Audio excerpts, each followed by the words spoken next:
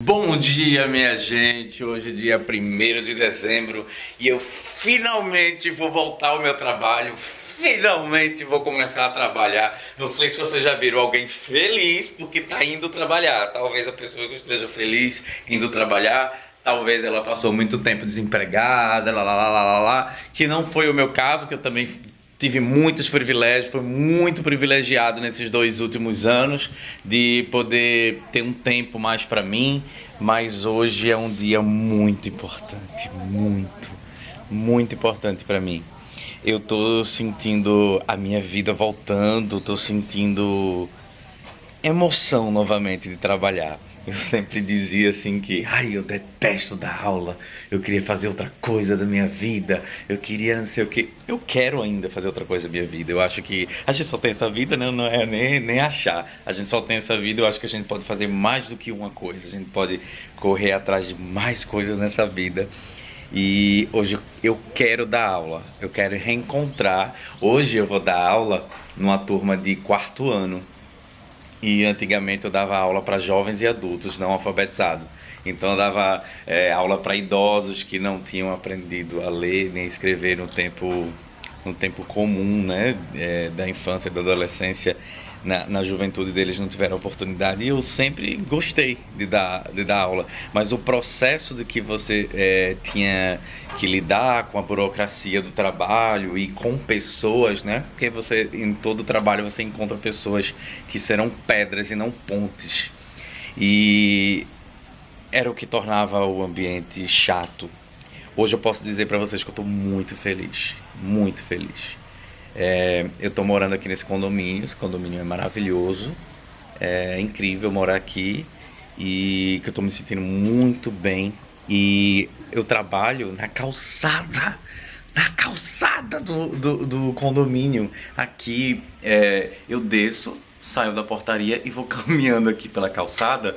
Aí quando chega no final eu dobro e tô no trabalho. Então a, a, aqui eu acordei de 4 da manhã Todos os dias, desde quando eu cheguei aqui em Recife, que eu tô acordando de quatro da manhã. Eu tô ansioso para voltar ao trabalho. Ontem eu tive uma prévia que eu fui visitar. Eu ia gravar um vídeo, acabei não gravando, porque é muita coisa e eu tô empolgado novamente. Eu sei que as crianças pestinhas, elas vão ficar me azucrinando dura até 11h30. Eu nunca falei assim que eu tenho saudade de alguma coisa. Eu tô com saudades de de enfrentar a vida. Era isso que eu estava precisando. Viver, enfrentar situações, não fugir. Eu passei dois anos da minha vida fugindo, escondido, é, dentro de um apartamento, dentro de, de, uns lugares onde ninguém gostava de mim. Aí parece aquela, aquela coisa de vítima. Ai, nossa, só quer ser a vítima, ninguém gosta dele. Gente, vocês não têm noção do inferno que eu passei dois anos da minha vida. Dois anos da minha vida com uma bolha do demônio, uma bolha de Satanás que me fez ficar em depressão, que me fez é, tomar remédio, transtorno de ansiedade. As pessoas que me ignoravam, que faziam questão de lhe ver mal que ficava usando fake para tá dizendo que eu era sustentado, que botava fake para dizer que as minhas edições eram cafonas. Tudo que, que, que eu fazia não era valorizado. E todas essas pessoas que eu, tô, que, que eu tô citando, elas não curtiam nem comentavam nos vídeos, porque era eu que editava. E vocês não têm noção do que eu precisava me esconder para poder as coisas darem certo. Porque se eu aparecesse, não existia oportunidade de ir para algum lugar. Eu não era chamado para ir para um evento, eu não era chamado para ir para canto nenhum. Ah, vão se lascar! Eu tô em casa, eu tô na minha vida, eu tenho o meu emprego, eu tenho minha vida bem linda lá fora. E eu tô muito, muito, muito, muito, muito feliz. O meu trabalho não é o trabalho dos meus sonhos.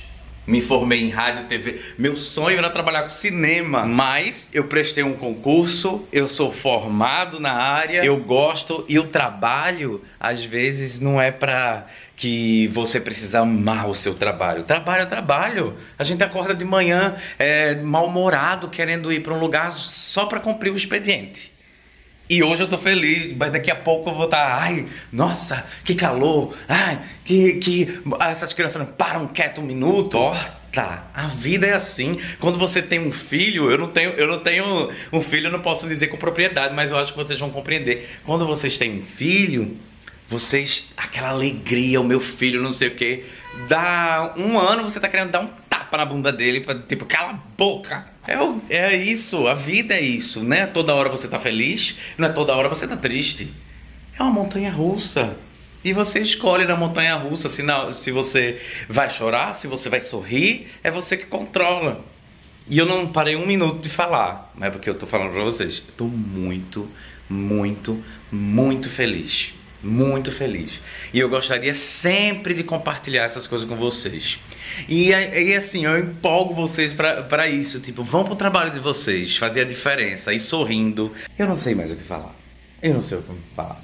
A única coisa que eu tenho para falar é que eu tenho que entrar naquele quarto, trocar de roupa, colocar roupa e ir trabalhar.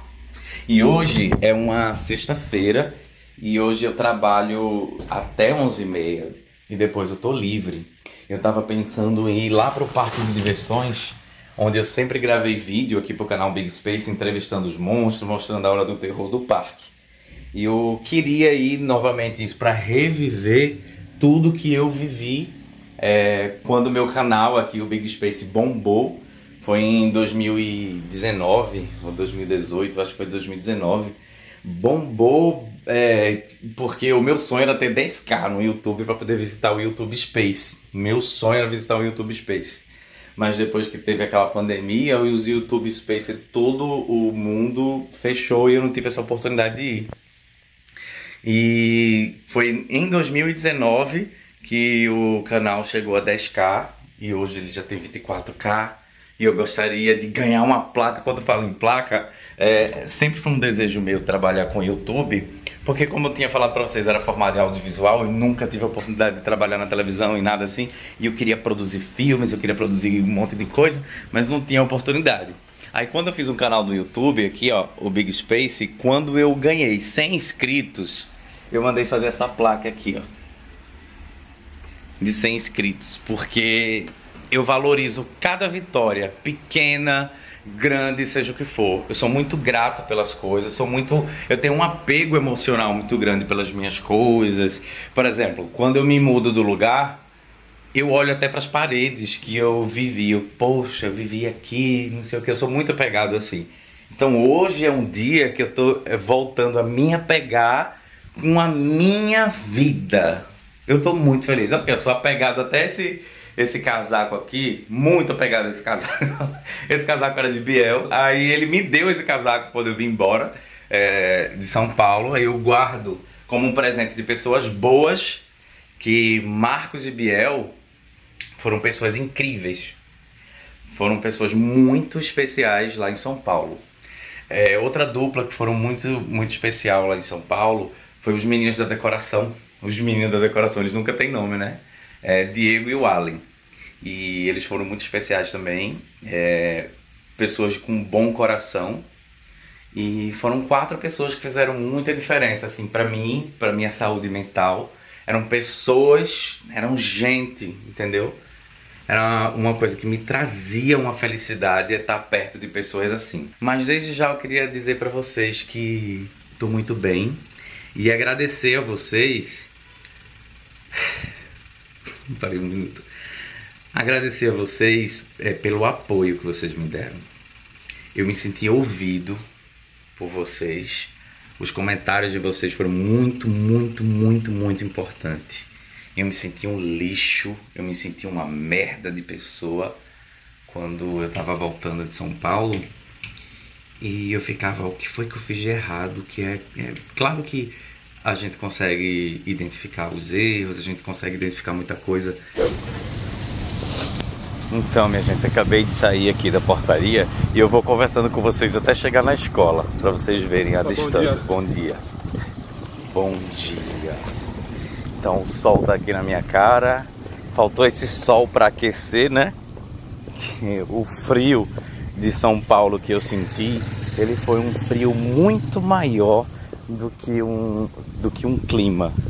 era um clima pesado, era um clima de hostilidade, era um clima de exclusão, daquelas coisas bem infantil, onde a criança é dono da bola e só brinca com a bola quem a criança quiser. E se alguém daquele grupinho, daquela bolinha, olhar para outra criança, a pessoa já faz a piada do tipo assim: tá olhando, vai lá. E assim a outra pessoa é excluída da brincadeira também. Eu juro a vocês, eu me senti ameaçado. Foi praticamente isso. Entre tudo que eu senti, tudo que eu passei, eu tinha que ficar calado. Minha gente, que pena. Eu vim falando com vocês, mas na realidade o celular parou a gravação porque estava cheio a memória. Acabei não vocês não escutando tudo que eu falei. E foram coisas muito importantes. Acabei de chegar na escola.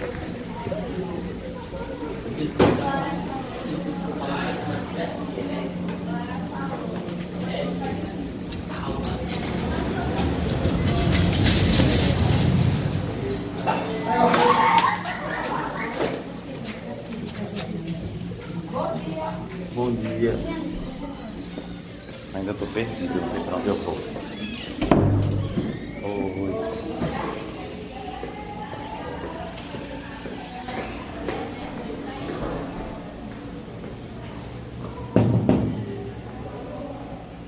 Será que eu cheguei cedo demais?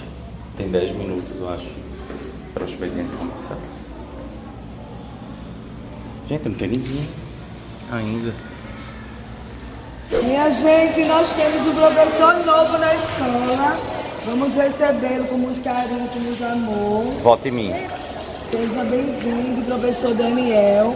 O professor Daniel vai ficar com a turma do quarto ano da professora Eta, vai para outra escola e ele vai assumir a turma, tá Não certo? escutei o Seja Bem-vindo. Cadê vocês? Ah, eu achei pouco. De novo. Agora eu me senti bem-vindo. Obrigado. Aqui é o quarto aqui é o ano. Lindo, é, o quarto. Essa é a tua turma. Olá, pessoal. Só não sei chegar até a sala. Eles vão ensinar. Quinto ano na sala, bom dia, vamos embora. Ah, não tem muito aluno, não? Tem quantos alunos? Professor, qual é seu nome? Daniel. Daniel. É um nome não é tão bonito, não. Eu queria que fosse Felipe, Pedro, um nome mais Rian. assim. É, Rian. Queria um nome assim. Bom dia.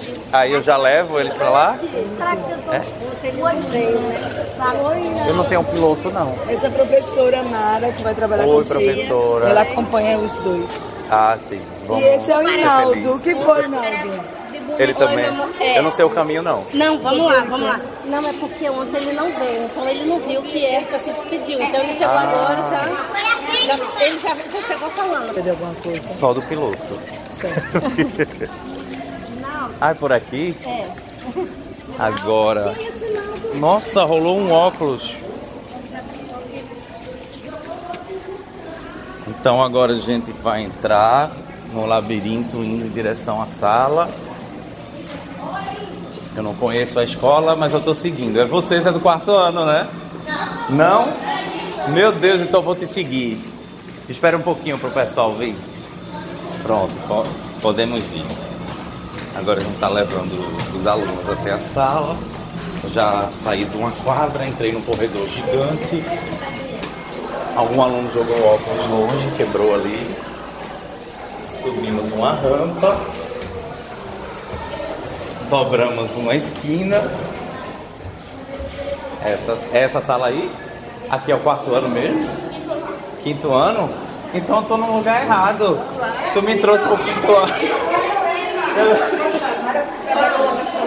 segui, eu segui um aluno que tava dizendo que tava me levando, não me levou pra outra sala.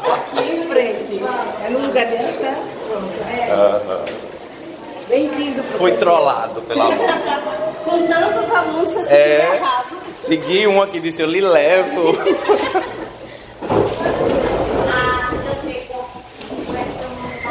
São quantos alunos? 24. 24. Bom dia, pessoal. Bom dia. Cada um voltando para os seus lugares, guardando os brinquedinhos de vocês. e vamos prestar atenção que a história é longa. Eu vou contar aqui uma história e também quero ouvir a história de vocês, que é muito importante eu saber a história de vocês também.